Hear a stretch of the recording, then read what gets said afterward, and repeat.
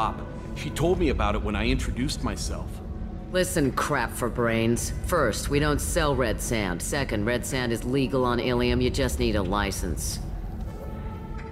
I'll talk to this undercover cop and figure out what's going on. Thank you. If I kill annoying customers, it usually causes property damage.